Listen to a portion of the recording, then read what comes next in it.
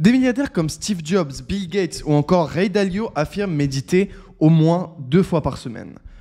Je sais pas combien ça vaut 30 minutes d'un milliardaire, mais ce qui est sûr, c'est que ça vaut très cher. Et si, selon eux, méditer est quelque chose d'important pour eux, c'est qu'il y a quelque chose à exploiter derrière. Aujourd'hui, je vais vous partager des années d'expérience. J'ai plus d'expérience dans le domaine de la méditation que de l'entrepreneuriat sur ma méditation préférée pour explorer son inconscient, euh, faire sauter ses croyances limitantes, ces barrières qui nous empêchent de gagner de l'argent, les explorer des parties insoupçonnées de notre cerveau où beaucoup de choses sont possibles avec cette méditation. Donc, j'aimerais que tu mettes un like dès à présent, euh, dès maintenant, pour montrer à l'algorithme que c'est une bonne vidéo parce qu'on a énormément travaillé, enfin j'ai énormément travaillé, c'est 30, 50 livres résumés euh, sur la méditation, des années d'expérience. je vais essayer de faire l'une des meilleures vidéos méditation sur YouTube, du moins apporter un maximum de valeur. Donc écoute attentivement, euh, je pense que ça peut vraiment augmenter tes revenus. C'est un peu bizarre dit comme ça, mais je le pense sincèrement. Augmenter tes revenus, euh, augmenter ta vision long terme. Enfin bref, il y a tellement de bénéfices. Et puis pourquoi pas améliorer ta spiritualité.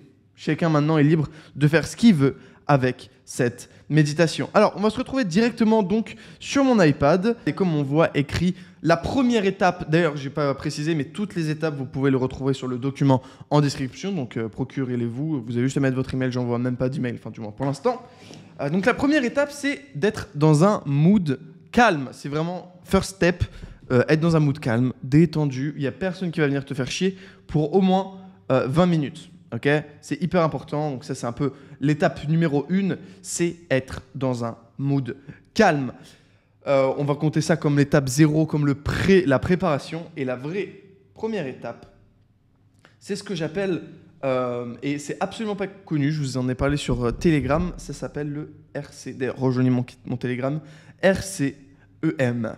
RC pour Reverse Counting et EM pour Eyes Movement. Alors, Reverse Counting, c'est. Là, c'est très simple, c'est comme faire ça. Donc, tu vas faire 10, 9, 8, etc.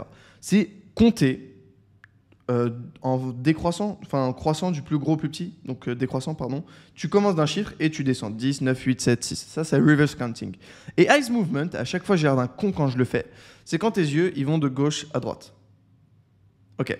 Donc tu vas reverse compter, donc 20, 19, 18, en bougeant tes yeux, donc ça c'est ton œil qui va ici de, en bas à, à, gauche à en haut à droite. Donc ça c'est ton œil, tu vois, hop là.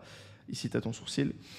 Oh je dessine bien les yeux. Bref, et, euh, et du coup, voilà, donc tu vas reverse compter, donc, et en même temps bouger tes yeux. Par exemple, ici en bas à gauche, 19, en haut, 18, en bas, 17, etc. etc. Ça, c'est la première étape. Tu fais ça de 19 à 20, enfin de 19 à 1, et euh, tu essayes de ne pas synchroniser, ça c'est compliqué, mais en vrai c'est facile, tout le monde y arrive, de ne pas synchroniser tes yeux avec euh, ton comptage. Par exemple, tu fais pas ah, dès que tu es en bas à gauche, moins 1, euh, etc. Tu essayes de désynchroniser les deux. Parce qu'après, on synchronisera tout ça. L'idée avec ça, c'est ici de les stimuler certaines parties de son cerveau. Euh, de ça, c'est s'hypnotiser. Comment ça s'hypnotiser? On va faire de l'auto-hypnose un petit peu. Et Eyes Movement, c'est pour aller stimuler des parties de son cerveau qui vont nous aider ensuite à la visualisation. Ok, donc tu reverse compte, boum, 19, 19 jusqu'à boum, boum, boum, jusqu'à 1. Et à 1, T'inspires un grand coup avec le nez, tu fermes les yeux, tu montes tes yeux, donc tu fermes tes yeux et tu montes tes yeux euh, vers le haut, vers euh, ici, entre tes deux yeux, entre tes deux, ouais, exactement, entre tes deux yeux. Et à 1, tu montes tes yeux et c'est tout. Tu fermes les yeux à partir de 1. Et à partir de 1, tes yeux ne bougeront, enfin tes yeux resteront fermés jusqu'à la fin de la méditation. Ok, donc ça, c'est la première étape. Reverse counting eyes movement. C'est pas très compliqué. Tu fais bouger tes yeux comme ça pour euh, tirer un petit peu, euh, je sais pas comment ça s'appelle, mais la tige derrière. Et euh, voilà, c'est assez facile. Pas besoin de passer 10 000 ans là-dessus. En gros, c'est comme je vous ai dit, auto-hypnose. reverse counting, auto-hypnose et ici stimulation de certaines parties de son cerveau. Ça, c'est la première étape. Ensuite, la deuxième classique dans la méditation, c'est la respiration. On va se concentrer sur sa respiration. Donc, euh, on inspire par le nez et on expire par la bouche. Ultra classique. Par le nez, par la bouche. Et on, on respire avec le ventre, pas avec les poumons. Enfin, vous voyez ce que je veux dire? On, gonfle le ventre. On fait ça pendant à peu près 45 secondes, c'est histoire de se calmer. Euh, on fait ça pendant 45 secondes, histoire de se calmer. Voilà, ça c'est très classique. Mais vous voyez qu'avec le euh, reverse continuous movement, vous êtes déjà dans un état assez particulier.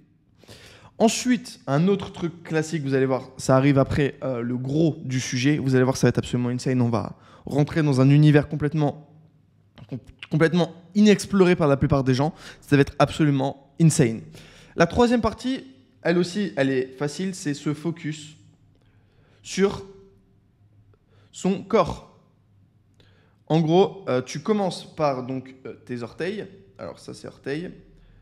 Et tu vas aller jusqu'à euh, ta tête. Et tu vas faire passer ton, ta conscience de tes pieds jusqu'à tes, de tes orteils jusqu'à ta tête.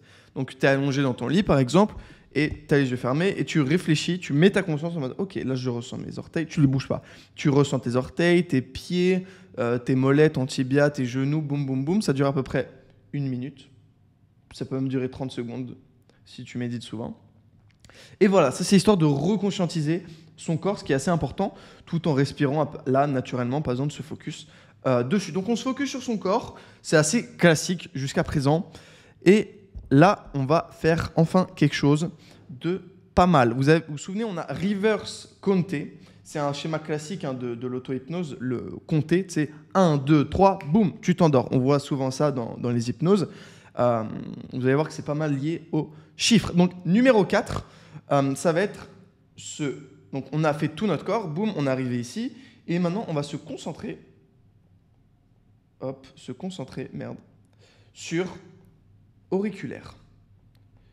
Alors ça marche avec n'importe quel doigt, mais l'auriculaire, vu qu'il est plus petit, ça va être plus facile. On va se concentrer, alors auriculaire, ouais, c'est bien ça, c'est le petit doigt, sur euh, l'auriculaire. Donc là, on a le doigt, boum, boum, boum, boum. Ouais, je crois que c'est ça. Merde, ai oublié un. Boum, boum. c'est le petit là, ici. Lui, on se concentre dessus. Je dessine bien, vous voyez. On va se concentrer sur son auriculaire. C'est vraiment la seule étape. On va le ressentir. Chacune des parties, ces trois phalanges. On va se concentrer sur les trois phalanges de son auriculaire. Ça, ça dure 15 secondes.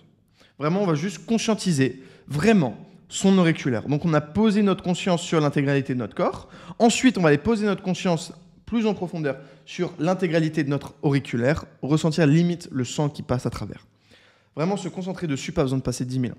Et là, ce qu'on va faire, c'est de la catalepsie. Alors, c'est un mot assez barbare pour dire auto-hypnose, donc auto-hypnose, AH, de son auriculaire. Je vais mettre Ori. Et auto-hypnose, plus précisément, de la catalepsie. Catalepsie, ça veut dire immobiliser. Euh, je sais pas si c'est écrit comme ça. Catalepsie. Non, je crois que c'est écrit IE à la fin. Catalepsie. On va immobiliser son petit doigt. de la main droite ou de la main gauche, comme on veut. Comment immobiliser son petit doigt? Donc là, normalement, on a fait tout un travail préparatoire pour être dans son cerveau, dans sa conscience. On n'est plus vraiment dans le monde qui nous entoure. On n'est plus vraiment dans notre lit. On est nous-mêmes. À ce moment-là, je suis Valère qui médite. Valère qui est dans sa tête. Et aussi, j'ai oublié de préciser, mais quand on médite, on médite pas comme ça. Hein. On médite allongé, on peut méditer assis aussi si on veut, allongé dans un endroit calme et confortable, c'est ce que je recommande. Catalepsie. Donc catalepsie, ça consiste à mettre des suggestions dans son cerveau pour euh, immobiliser une partie de son corps. Par exemple, on peut dire, boum, tu bouges plus. L'auto-hypnose, ça marche vraiment. Et ce petit test-là, euh, si vous y croyez pas à l'hypnose, ce petit test-là, tout le monde, ça marche. Vous voyez, on vous l'a tous sûrement déjà fait. Hop là, et tes doigts, s'ils se recollent, eh ben, ça veut dire que tu es réceptif. Non, si tes doigts, ils se recollent pas, c'est que tu fais exprès de pas les faire se recoller. Parce que naturellement, ils vont se recoller par la force des choses. Parce que ton muscle détendu, il est comme ça. Il n'y a rien de magique, il n'y a rien d'hypnotique. C'est des muscles. Et si tu résistes, c'est que bah, du coup, tu vas résister aussi à l'auto-hypnose. C'est pour ça, donc tout le monde est réceptif. Euh, voilà, petit truc, donc si tu penses ne pas être réceptif à l'hypnose, si. Et surtout l'auto-hypnose, vu que souvent tu vas résister parce que tu n'as pas la confiance en la personne qui va t'hypnotiser. Là, c'est toi-même. La seule personne en laquelle tu peux avoir confiance, ça peut être toi-même, c'est toi-même. Ok, euh, donc auriculaire ici, hein. euh, mince. Donc catalepsie, comment faire de la catalepsie? Donc là, on est déjà dans un état hypnotique. Ça veut dire que nos suggestions, suggestions, elles vont beaucoup mieux passer. Suggestion to the moon. Hop là. Suggestion to the moon, parce que quand tu médites, tu es dans un état, es, apparemment tes ondes du ton cerveau, je sais pas quoi, Moi, j'en sais rien. J'ai pas été vérifier mon cerveau pendant que j'étais en train de méditer. Mais ce qu'il en est, c'est que quand tu es en train de méditer, tes suggestions, je vais expliquer ce qu'après une, une suggestion, vont passer beaucoup mieux.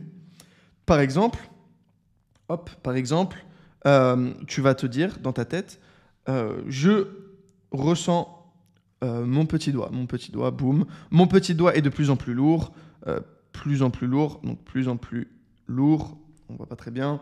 Euh, je ressens mon petit doigt, il est de mon auriculaire, il est de plus en plus lourd, il s'immobilise petit à petit, il s'immobilise petit à petit, etc., etc. Tu, tu trouves quelques phrases comme ça qui va te permettre, donc tu te les répètes une vingtaine de fois, à peu près pendant une minute, une minute trente, une minute trente, hop là.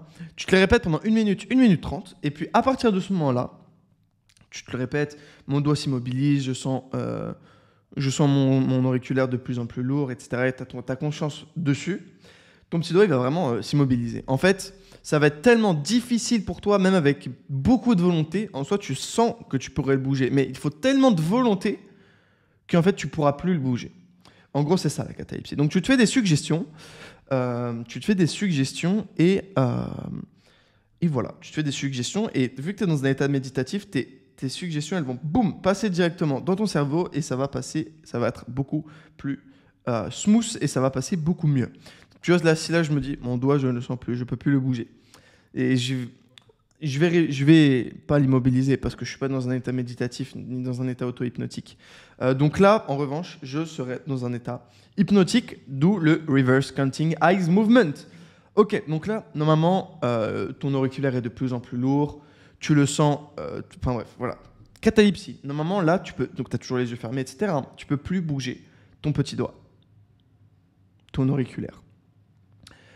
Félicitations, là, tu es vraiment dans un état, en fait, on s'en bat les couilles de son auriculaire, c'est juste pour rentrer dans un état d'auto-hypnose, où les suggestions vont passer dans ton cerveau. Donc, comme je t'ai fait le, schéma, là, c'est ton cerveau, et là, c'est les suggestions extérieures, et boum, elles vont rentrer, elles vont passer comme ça. Et elles vont influencer ici le spectre de réalité. Donc, tu vas plus pouvoir bouger ton petit doigt à partir de suggestions extérieures, comme là, par exemple, je suis en train de, de te dire, euh, d'immobiliser ton petit doigt. Ok, donc ça, c'est la catalepsie de l'auriculaire. Vous allez voir, ça paraît très compliqué, mais en vrai, quand on est dans un état méditatif, c'est plutôt facile. Donc, maintenant qu'on a euh, immobilisé, donc 6, immobilisation euh, de, son petit, de son auriculaire, félicitations, check. Euh, félicitations, on peut avancer avec les suggestions, donc partie 5. Et la partie 6, c'est l'immobilisation complète. Ensuite, on va, donc pour se désimmobiliser, parce que c'est relou d'avoir un, un auriculaire que tu peux pas bouger, parce qu'en plus, tu as toute ton énergie qui est concentrée dedans. Tu vas aller, donc, reverse compter 3, 2, 1, et à 1, tu pourras le bouger. Donc, ok, donc c'est bon, je sens que mon auriculaire, je peux plus le bouger. Maintenant, 3, 2, 1, ah, c'est bon, je peux le bouger. Donc, c'est juste euh, reverse compter pour euh, se désimmobiliser. Maintenant, on est dans un état. Donc, attends, vous savez quoi? Parce que là, on va rentrer dans le vif du sujet. Maintenant, euh, là, ça devient sérieux. On va faire une récapitulation, récapitulatif, euh, pardon, du. Bon, peu importe, de l'étape 1 à 7. Donc, on a reverse compter plus ice movement. Récapitulatif très rapide. Ok. Ça, donc, je vous ai déjà expliqué. On s'est focus ensuite sur soi. Donc, on a mis la conscience sur son corps. Je crois que c'est comme ça. On va mettre plutôt son corps. Je sais pas comment c'est écrit. Hop son corps. Hop. Son corps. Donc ça, c'est la conscience sur son corps. Ensuite, c'est auto-hypnose. Et ensuite, on en est là. Ensuite, on s'est désauto, dé, dé, désauto-hypnotisé. Hop là. Là, on en est là. Donc, dans quel état est notre cerveau? Notre cerveau, hop là, pardon, il est dans un état méditatif. Donc, méditatif, méditatif, méditatif. Hop là, méditatif, on va méditation. Méditation hypnotique hypnotique. Ok, ça c'est à peu près tout ce que je veux dans la phrase. Euh, hypnotique. Super, ça c'est l'état actuel de nous. On est dans une méditation hypnotique. Magnifique. Ce qui veut dire que on a déjà accès à notre cerveau beaucoup plus facilement.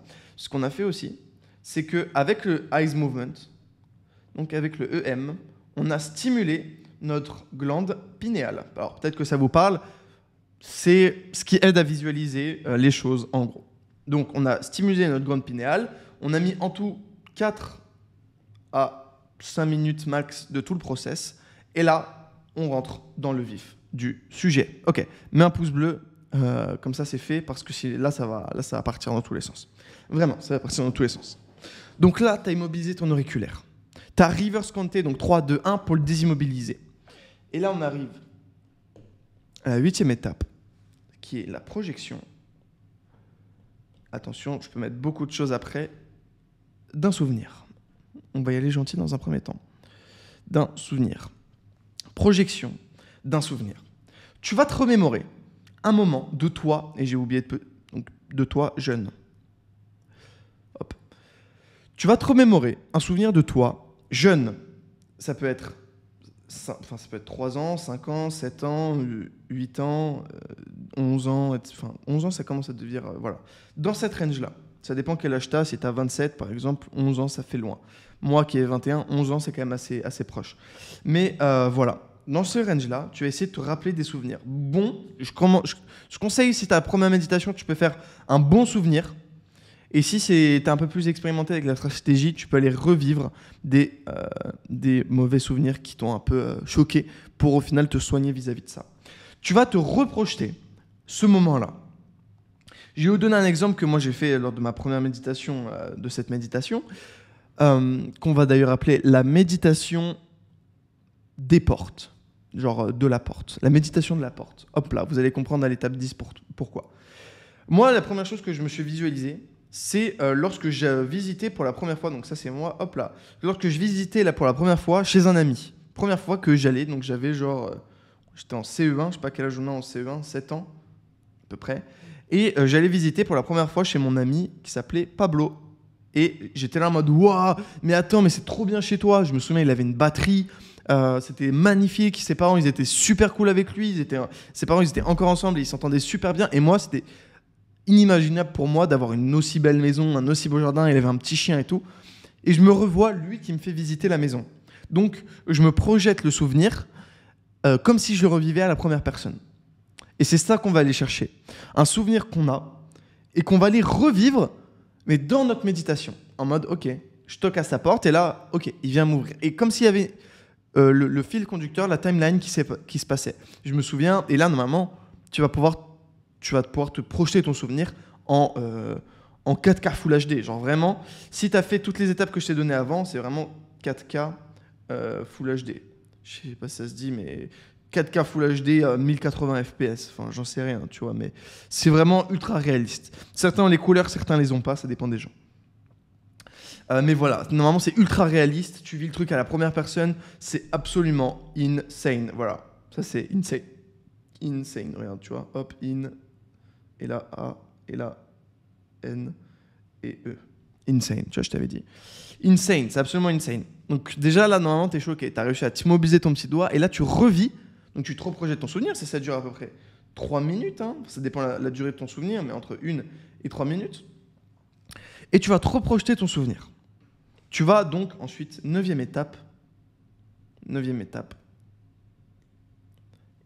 tu vas vivre le souvenir. J'ai bien dit vivre, comme si tu le vivais. Et là, normalement, il devrait y avoir deux toits. Il y a là, il y a le toit qui médite et le toit du souvenir. Le toit qui médite, donc c'est comme si tu avais, enfin, quand je dis ici, tu as deux toits, c'est tu deux consciences.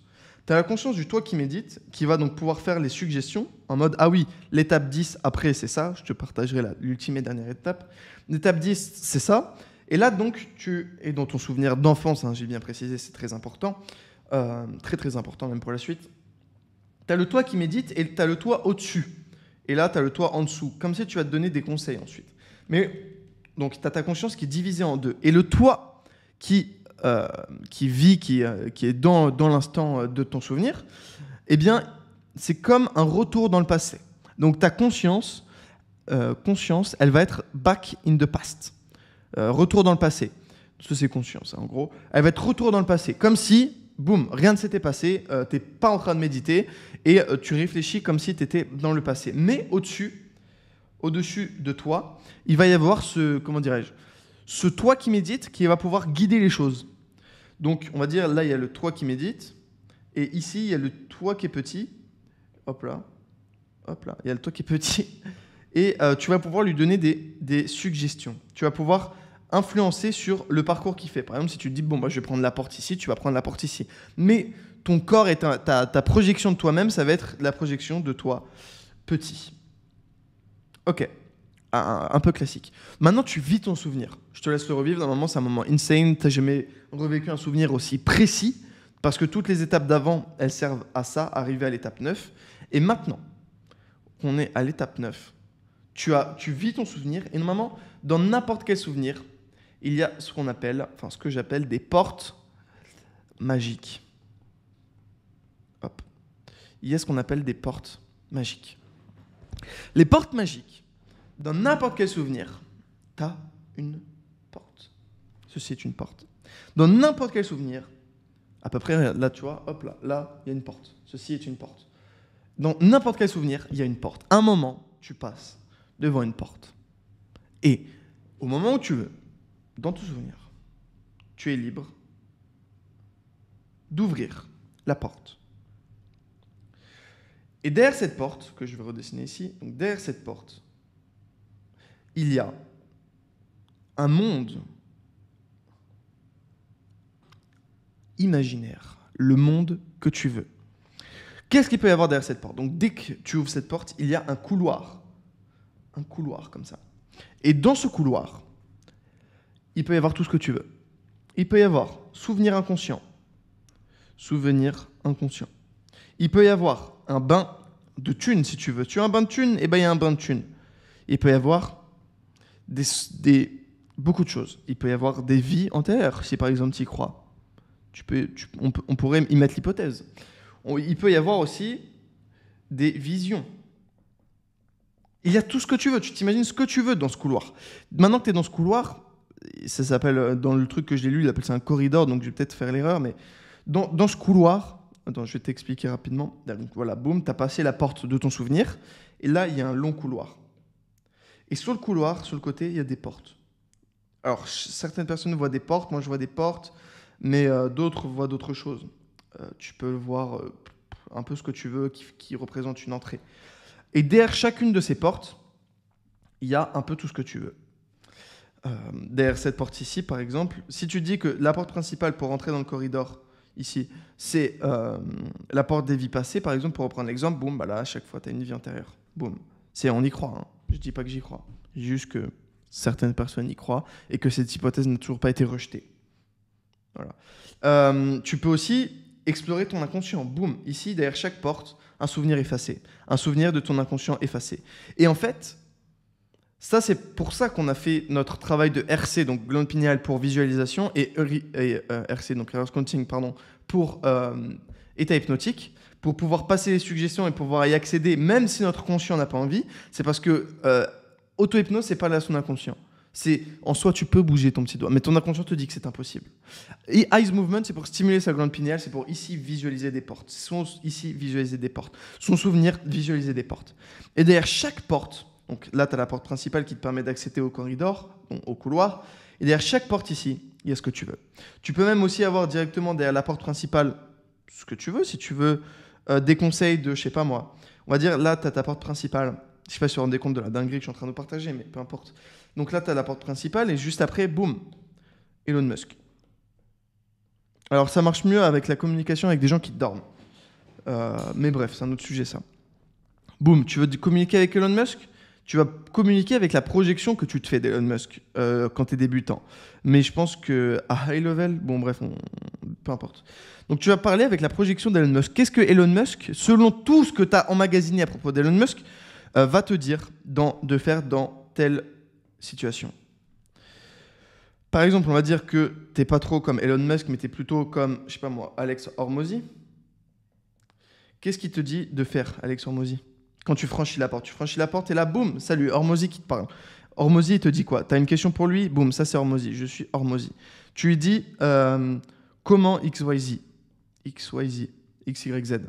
Hop, il a la réponse. Et derrière la porte, tu peux imaginer tout ce que tu veux. Tu veux imaginer, ok, tu es avec une meuf, il y a une meuf, elle t'a lâché. Boum, c'est relou, tu vois, comme situation. Tu veux, euh, quand tu rentres, euh, lui, parler tu peux, te faire un, tu peux te faire mille fois la situation dans sa tête. Tu la connais par cœur. Ton inconscient, il la connaît par cœur 100 fois. Tu euh, veux faire euh, un call super important où tu dois faire un, où tu dois closer un gars, enfin pas pour un appel de closing, mais pour closer un super gros deal. Tu peux t'entraîner dans ta tête. Tu veux faire des montres. Tu peux t'imaginer les rouages dans ta tête. Derrière cette porte, il y a absolument tout ce que tu veux. Ça, c'est des rouages. Tu veux faire ce que tu veux tester des choses dans un monde, euh, dans un monde compact qui répond pas à la, gravité. Tu peux. Tu veux tout ce que tu veux. Tu peux. C'est dans ta tête en fait. C'est dans ta tête et toutes les, tout ce que ton inconscient a emmagasiné est accessible. Tu veux t'imaginer un endroit paisible dans lequel euh, il y a, je sais pas moi, donc tu peux, tu peux t'imaginer ton propre paradis. Ça, c'est ton paradis. Il y a des arbres dedans. Boum, boum, boum. Bon, ça c'est le soleil. Il y a des arbres, hop, hop, boum, des arbres. Il y a un pommier. Là, il y a des animaux, des animaux, des animaux, des animaux. Et là, il y a un sage. Il y a un sage, boum, tu vas lui parler. Tu vas lui dire quoi au sage? Le, sage, il a réponse à tout. He knows everything. Everything. Il, il, sait absolument tout. Tu vas lui parler, tu peux lui poser les questions que tu veux, il aura la réponse. Maintenant, tu peux aussi imaginer un truc intéressant ça, c'est plus pour les personnes expérimentées. Je recommande vraiment pas de le faire tout de suite. Tu passes la... J'ai effacé porte magique parce qu'on a compris qu'on était derrière la porte magique. Tu passes la première porte. Ok. Et juste derrière la porte, tu rentres et il y a un grand cercle. Donc c'est une porte avec un grand cercle sur laquelle il n'y a que des miroirs. Je vous laisse expérimenter ça. Je vous laisse expérimenter ça. C'est assez personnel comme, euh, comme expérimentation. Bref, derrière cette porte de ton souvenir, il y a ce que tu veux, infini. C'est libre de ton imagination. Tu fais. Tu peux imaginer encore plus loin que moi. Là maintenant, tu es dans le monde des idées. Bienvenue. Alors, pas vraiment, mais on se comprend. On est dans le monde de l'inconscient. Et j'aimerais conclure par ça, par deux choses d'abord. La première, c'est imaginer tout ce que vous voulez, aller explorer cette partie-là de votre cerveau et devenir un surhomme. Hein, devenir un surhomme, c'est pas aller à la salle et c'est pas avoir plein de meufs, c'est être spirituellement supérieur. Je vais vous le noter. Hein. Surhomme avec un grand H, hein, par ailleurs, euh, c'est être spirituellement supérieur. Spiri. Ça, c'est l'objectif. Et j'aimerais finir cette vidéo par une phrase que j'aime beaucoup qui dit Tant que vous n'aurez pas rendu l'inconscient conscient, il dominera votre vie et vous appellerez ça le destin. Signé Carl Jung. Bref, j'espère que cette vidéo vous aura plu. Like, abonne-toi, c'est important. Mets-moi un commentaire si tu veux plus de vidéos là-dessus ou si tu as des questions. C'était Valère. On se retrouve très bientôt pour une nouvelle vidéo. Like et abonne-toi. Double ciao.